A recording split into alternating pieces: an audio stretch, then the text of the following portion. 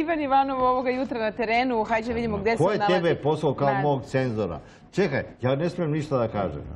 Ivane, preuzmi brzo. Dobro jutro Srbijo, dobro jutro Katarina. Evo me u Automoto Savezu Srbije ovoga jutra da vidimo kakvo je stanje na putevima širom Srbije i u našem glavnom gradu. Moja sagovornica ovoga jutra eh, Tamara Ninić. Tamara, dobro jutro. Dobro jutro vama i vašim gledalcima.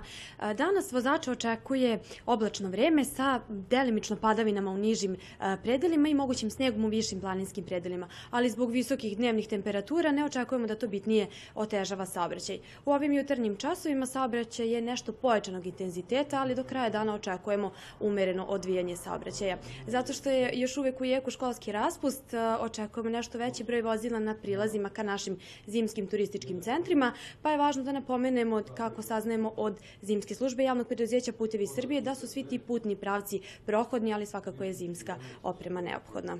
Što se tiče radova, kako saznajemo od javnog preduzeća Putevi Srbije, radovi će se danas izvoditi na autoputu E75 u zoni petlje Beograd i to od 9 do 12 časova u smeru ka Novom Sadu, a od 12 do 15 u smeru ka Ostružnici.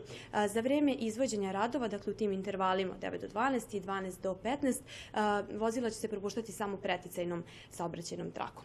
I naplatne rampe u ovom trenutku nema zadržavanja, a što se tiče graničnih prijelaza, kako saznajemo od uprave granične policije, na putničkim terminalima naših graničnih prijelaza nema zadržavanja, dok se teretna motorna vozila na izlazu iz zemlje zadržavaju više satno na Horgošu i Kelebiji.